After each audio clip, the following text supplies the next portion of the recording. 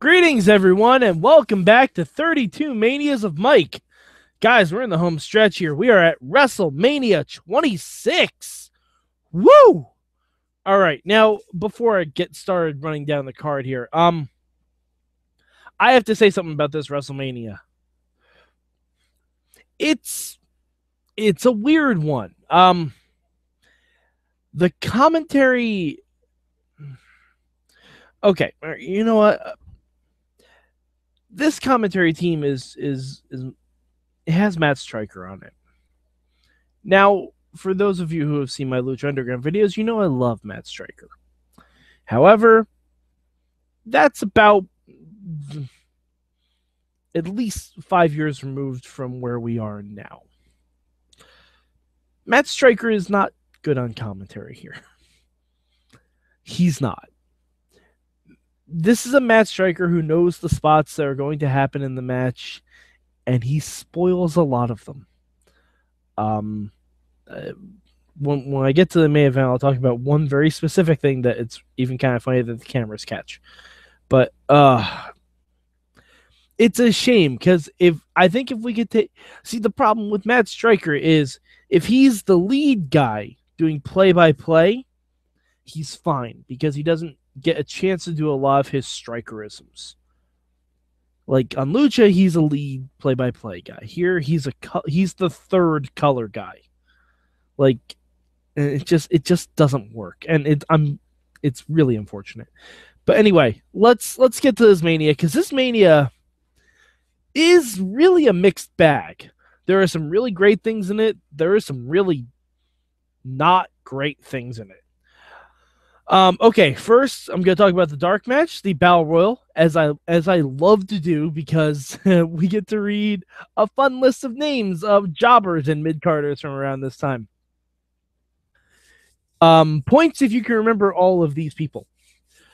Uh, Primo, of course we know Primo. Slam Master J, better known as Jesse from Jesse and Festus. Caylen Croft, Trent Beretta. Who's Trent Beretta? You should ask Trent Beretta, uh, Chavo Guerrero, Mark Henry, Great Khali, Luke Gallows, JTG, Chris Masters, David Hart Smith, Tyson Kidd. We'll see them a little bit later. Vladimir Kozlov, Funaki, Golda, Shad Gaspard, William Regal, Tyler Reks.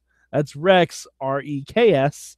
Santino Marella, Jimmy Wang Yang, Lance Archer, Carlito, Michael Q Knoxville. That that that's a, that's a shout out to the Mayhem crew. Mike Knox, of course, Mike Knox, Finlay, Zack Ryder, and believe it or not, I didn't believe it. They actually showed this on the pay per view, so it is a real thing. The winner of this battle royal, Yoshi freaking Tatsu. Yoshi Tatsu won a battle royal before WrestleMania? I don't know. I don't know. It's it's very odd. I I didn't think Yoshi Tatsu ever won a match. I sit corrected. Anyway, let's get to the show proper. Uh, we open with actually a really fun uh, match. And it's kind of funny because I hear Matt Striker on commentary. I immediately see John Morrison coming out. I'm like, who sprinkled Lucha Underground into res- into my WrestleMania 26? But uh, here we are because we have John Morrison and R-Truth versus ShoMiz for the Unified Tag Team Championship. Uh, it's a fun match. It, it's kind of a shame because Miz is also U.S. champion at this point, so there's no U.S. title match. But uh, yeah, this is really good. You know, it's the the whole thing is that Miz and Morrison had a feud back in the day and and Big Show is constantly bailing Miz out of their match, but they get they work really well together. And I actually really dug ShoMiz back in the day. I loved their I loved their whole team. And Jericho followed after that, or was before this. Big Show Big Show is always really good at a tag team because he doesn't have to be the big dominant guy for the entire match, just for like hot tags and stuff. But ShoMiz do get the win. They do beat uh, Morrison and Truth and uh, we move on to uh, Legacy Explodes. or something. They didn't they didn't coin it that, but it's Randy Orton going against Cody Rhodes going against Ted DiBiase in a triple threat match. Um, well, it's more like a two on one match, and Cody and Ted disagree on who should get the win, and Randy picks up the win. Uh, it's a fun match. It's just you kind of know what's happening. Like uh, Randy Orton picking up the win is very obvious, but it, it's good. It's good. I like to see. I I kind of miss Ted DiBiase a little bit. Like I kind of still wish he was a thing, but you know that that's just where we are, and it was good to see like them each get like individual spotlights in this match. But uh, now moving to people who don't get individual spotlights, we're going to the Money in the Bank match. Now, uh, this Money in the Bank match is interesting. It's kind of fun. There are a lot of cool spots in it, but holy hell, is it crowded! All right, here's all the people that are in this match. You got Christian, Dolph Ziggler, Kane, Shelton Benjamin, MVP, Matt Hardy, Evan Bourne, Drew McIntyre, Kofi Kingston, and the eventual winner, Jack Swagger. That's 10 people, you guys. 10 little piggies. That's too many people for a ladder match. It's way too many people for a ladder match. Um, like there are a lot of great spots. Evan Bourne is really good in it. Shelton, of course, is good in it. Kofi is really good in it. I believe uh, this is the match where Kofi tried to use the ladder as stilts, which is great. It's such a fun spot to watch, but this match is crowded. I would have taken out at least three or four of these people. And Swagger winning is very unexpected. Even though I remember Jack Swagger wins, it's it's kind of anticlimactic how he does win though. But you know, it's it's it's a decent match. Probably it's definitely not the worst money in the bank match we've had at WrestleMania. Definitely not the best. It's somewhere in the middle. But guys, we have a historic WrestleMania event for the first time since WrestleMania 18. Triple H is not in a title match. Are you guys excited? And yes, that's a real statistic. For the first time since WrestleMania 18, Triple H is not in a title match. Yeah, uh, he's going one on one with Sheamus. This is Sheamus's first big um, WrestleMania match, and it's a it's a good match. Um, but you know, just because Triple H isn't in a title match doesn't mean he ain't gonna win. Uh, Triple H does beat Sheamus. Uh, you know, it's fun. It, it's a good match to get Sheamus on the mark, but he's not quite there yet where he needs to be. He's just not there yet. But uh, yeah, it's a good match. It goes about, it goes a little over ten minutes, so it wasn't like the super long Triple H matches we've seen in the past, which is good. I approve of that. I appreciate that very much. Um, but yeah, so uh, it's a good match. I would definitely check it out if you if you're a Triple H fan or if you like to see some early Sheamus stuff. But yeah, um, so moving on, we we have Rey Mysterio in his Avatar outfit. I, I look forward to his Avatar 2 outfit coming soon. Going up against CM Punk. Yeah, this is the whole um this is the whole straight edge society stuff. This is when CM Punk had Luke Gallows and Serena with. By the way, Serena, I miss you. I miss you, Serena. Please come back to WWE. Please. You were great. I really, really miss seeing you in WWE. You would kick so much ass right now. Hell, be Sister Abigail. Please just come back and be Sister Abigail. Please. It'd be really great. I'd love to see it. Anyway, um, that aside, this is this is the whole bit with um CM Punk singing happy birthday at Rey Mysterio's daughter and being super creepy, being like the straight edge Jesus. It's uh it's a good match. You know, it's it's really a lot of fun, but um it's kind of short. It's kind of short, unfortunately, especially where when we see where a lot of the time run on this WrestleMania went to. I'll get to that in a minute. But um yeah, but CM Punk does get. Uh, I mean, Rey Mysterio does get the win because I'm pretty sure uh, it doesn't say it on the Wikipedia, but I remember them saying it. If Rey lost, he had to join the Straight Society, and Lord knows that's not going to happen at WrestleMania. I think it happened afterwards. Like uh, I think, I think it was either Rey joins or Punk gets his head shaved. I know that happened sometime after WrestleMania, but it wasn't here, which is a good thing. Um, but yeah, it was a fun match. I, I kind of, you know, I would like to see a little bit more from it because I these guys can go, Mysterio and Punk, obviously. Uh, all right, before I get to the next match, we're about halfway. Let's talk about the Hall of Fame this year. Hall of Fame, it was, I hate to say, it, it's kind of the first real lackluster Hall of Fame class we've had. I don't say it to disparage anyone that was inducted this year. I'm just saying most of these people in the Hall of Fame did not have a huge WWF background. That that's that's just how it rolls. Um, we had we had the headliner Ted DiBiase, obviously a million dollar man, one of the best of all time. Um, he had a great speech. I do remember his speech being really fun. Um, we also had Antonio Inoki being inducted this year by Stan Hansen. Really, really awesome. But you know, Antonio Inoki was never really part of WWF, WWE. And I think, you know, this is a lot of just getting guys in the Hall of Fame that should be in the Hall of Fame, even if they haven't been in WWE. Uh, Wendi Richter got inducted, which is good. Oh, actually, the uh, the Wikipedia forgot a person on here. That's odd.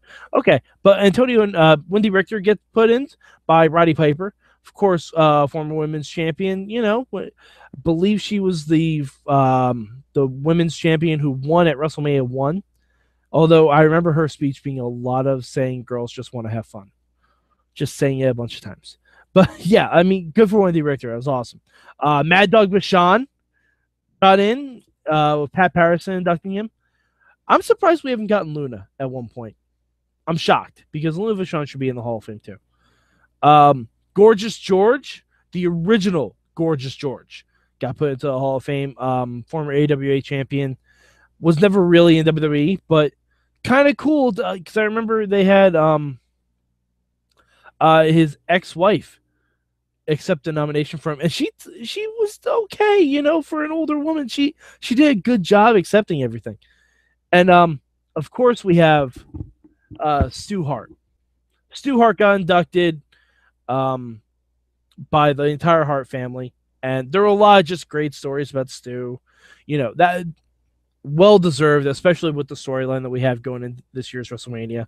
And also, Bob Uecker. Bob Uecker, Mr. Baseball, got put in the Hall of Fame this year. And Bob Uecker was one of the best WrestleMania celebrities that never wrestled. Gonna say it. He was fantastic in every WrestleMania he was involved in just brought so much humor and and you can tell even if he didn't know anything about wrestling, he knew how to entertain. And uh, I remember his speech was fantastic. If you haven't seen um, this year's Hall of Fame, just watch the Bob Uecker stuff. Watch Bob Uecker, watch Stu Hart, and watch Ted DiBiase. Those are the ones I remember being really good. But um, they show a few clips of this during WrestleMania. Bob Uecker's speech was fantastic. Now, back to the card. Um, this is the huge problem with this WrestleMania. This match right here. This match is right in the middle of the WrestleMania. It sucks out all the wind from the sails of of the good coasting we were going on. Cuz you know, not not every not nothing was stellar, but nothing was you know, shit. Except this. Um Vince McMahon in a no holds barred lumberjack match against Bret Hart. Um, this, I mean, if you if you know the history of this match, Bret can't wrestle. He can't. He's had strokes. He can't take a single bump. He can't do anything except deliver offense. So this is mainly this is a match mainly to kind of stroke Bret's ego and to have him beat Vince McMahon at WrestleMania which is fine. There's nothing wrong with that. I think that's a good moment. That should happen. But this match is over 10 minutes long, you guys. Um, this match, I'll, the tag match I talked about was three and a half minutes. The triple threat match was under 10. Rey Mysterio versus CM Punk was six and a half minutes. The 10 Diva tag we see is less than five minutes. This is over 10, and it should not have been. If this was a five minute squash, it would have been perfect. Because what what happens is Bret comes out, Vince comes out. Vince says, "Ah, Bret, I bought your whole family." and he brings out the entire Hart clan. He they surround the ring like lumberjacks. You got the Hart dynasty there. You got Nattie, D.H. Smith, and Tyson Kidd. They're they're all there. And Bret grabs the mic and says, "You know, I knew you'd try and pull something like this, but I, I know the Harts. You get you guys get paid up front. You guys cash your checks." And they all nod. They're all like making the money symbols, and and everyone's thinking, "Oh shit, Bret's screwed because Bruce Hart is the referee. Because of course it's Bruce Hart. If you've read Bret's book, you knew it had to be Bruce fucking Hart. Um, but and then Bret says, "Guess what? They all told me about this. We know. We just took your money, and I'm gonna kick your ass anyway." That should have been the end of it. Bret should have kicked Vince in the dick, spit in his face, put the sharpshooter on. That's it. That should have been the entire match. Bret Hart gets one over on Vince, kicks him in the dick, makes him tap out. That should have been the whole match. But for some unearthly reason, we decide that Bret needs to work over Vince. There's shots with a crowbar, there's steel chair shots, there's Bret teasing the sharpshooter three times. No, I'm sorry. You don't need to do this. You don't need to protect Vince because Vince didn't throw one single punch at, Bret Hart because he can't.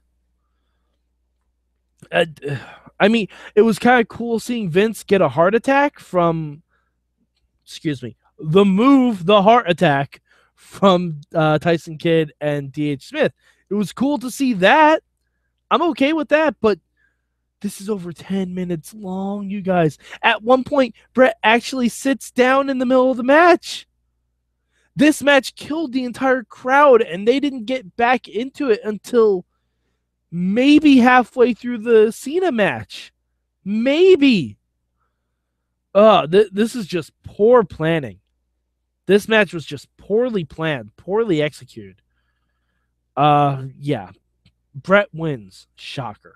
Of course he does. But uh, it, it, it, it ruins this WrestleMania. It, dra- it drags everything down around it. Speaking of dragging everything down around it, Chris Jericho, the World Heavyweight Champion, wrestles Edge to utter silence. The the crowd is so just drained, not from excitement, just by being bored. And Jericho and Edge have to really, really try and get everyone back into it, but that's not the kind of match they were supposed to have. Like maybe if you did the Money in the Bank match after this, that could have brought the crowd back up because there's a lot of high spots in that. But I this match was just this whole mania was just spaced out improperly. It really was. Um, Jericho and Edge have a good match. It's perfectly fine. Especially Jericho gets the win. Very rare to see a heel retain at WrestleMania, regardless of when it is on the card. It's very rare to see that. And Edge got the last uh the last word by spearing Jericho off the announce table, but it's a fun match. It really is. Like they play off Edge's injury he just came back from. It's it's good. It's a good it's a good time. It really is. Um the next match, now I know a lot of people are going to hate on this match, and there are plenty of reasons to do so. I will say the finish it, it, it made me feel feels. I'm not gonna lie. It's a 10 diva tag team match, so you already know you're not gonna get a five star classic. It's Lay Cool, Maryse, Alicia Fox, and Vickie Guerrero making her WrestleMania debut against uh, Mickie James, Kelly Kelly, Eve Torres, Gail Kim, and Beth Phoenix. Uh, now this is when Vickie is the assistant to the general manager on SmackDown, so she's got a lot of beef with a lot of the divas and stuff like that. And I'm still saying divas because they're not women's wrestlers for oh a couple WrestleManias now. just kidding.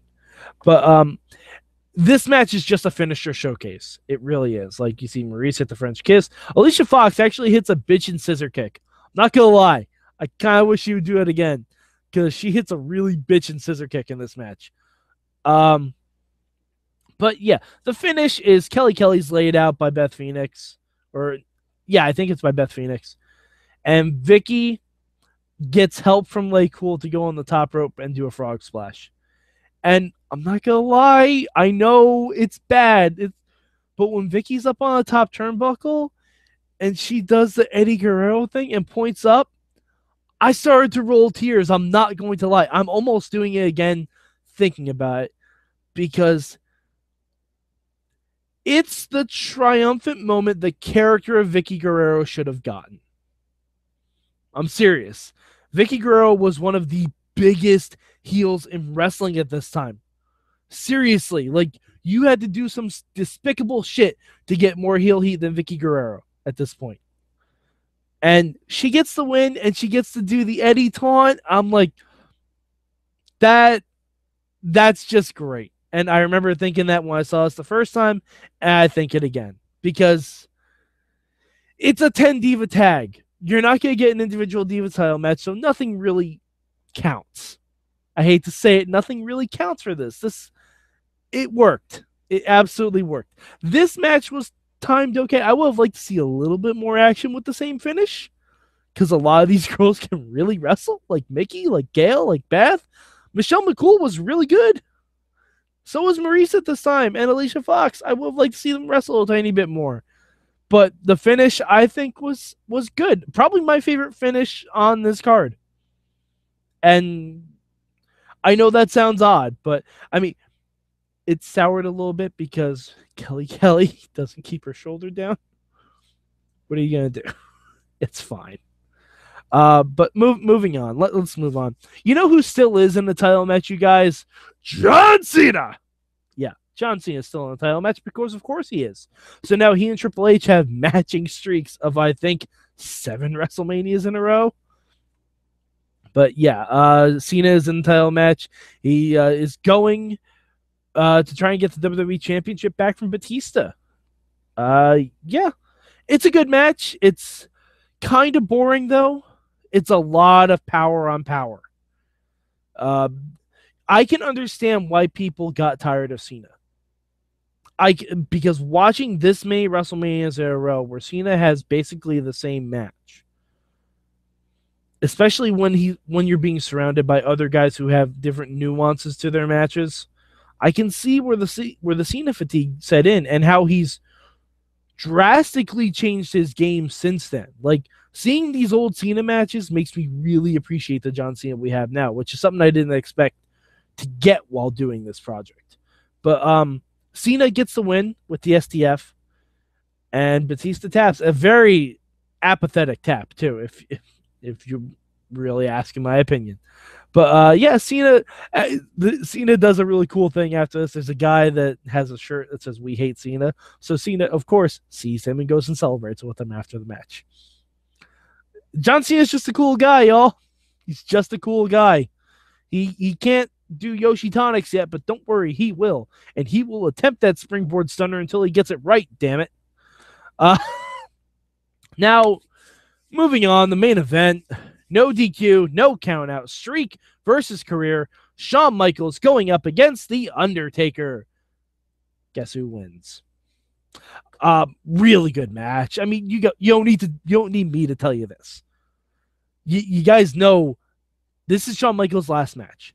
He's gonna make it the best he possibly can because he didn't really get that chance at WrestleMania 14. This match is really good. I don't know if it's better than the 25 the the one from the year before. I don't think it is. I don't even think it's personally better than his one with Ric Flair. Personal opinion. I honestly I don't know if this is in my top 5 of Shawn Michaels Mania matches cuz you got the Taker one, you got the Flair one. I still really dig the Austin one personally. You have the Iron Man match, and you got Jericho.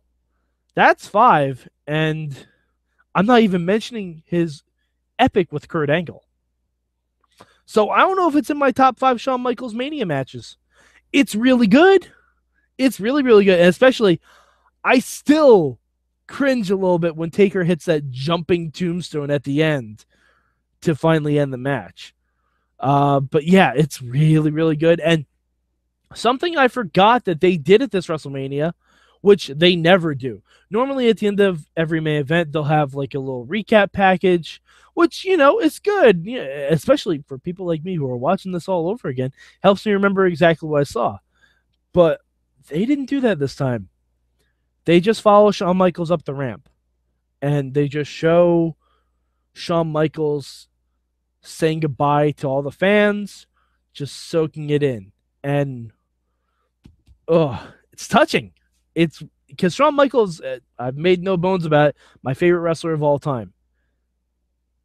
It it's really really great to see that they gave him that moment and they filmed it. They didn't like they didn't uh, kind of cheapen the moment by showing a video package after that match. They just showed the end of the match with Shawn taking in the end of his career. Really, really cool. Uh, I enjoyed it greatly. Probably one of the better finishes to a WrestleMania that I've seen, like like the celebratory thing. Because Taker, you know, a- after the match, Taker picks up Shawn, they hug and everything, and then Taker lets Shawn have the moment. Because normally, when Taker wins, you know, you see the numbers pop up on the screen. It says he's 17 0 or 18 0 or whatever he is at this point, and Taker poses and the lights go down. But no, Taker just leaves very unceremoniously. Like we don't even see Taker walk out. We just see him leave the ring, and we're just with Shawn. And that's really, really cool. It's really, really good. All right. Um, so next year we are going to Hotlanta. Hotlanta for WrestleMania 27. And oh man, I think I remember there are some stinkers on that card. Uh, we also will also get Undertaker versus Triple H for the second time. So that'll be fascinating because I don't remember how that first match goes. I know how the site I know how the one after that went, but I don't remember how that one goes. Um as far as other stuff, I don't remember. Like I said, these 20s, they all blend to me, so I haven't seen them as many times as I've seen the other ones, but this should be really interesting. Yeah, I'm looking forward to watching it again. So, uh, if you guys have any thoughts or comments on WrestleMania 26, feel free Hit me up at MadMike4883 on the Twitter machine. Leave some comments in the YouTube. Hit me up on Facebook, on Twitter at Mayhem Show with the hashtag MM. And also, um, stay tuned because we've only got a few more of these left. And I don't know about you guys, but I'm getting kind of hyped for WrestleMania, even though I don't necessarily like the matches involved. But as this has been showing me, just because I don't like the matches involved doesn't mean you can't like the matches, if that makes sense. I think it does. All right. So for Mad Mike, I'm Mad Mike, and this has been 32.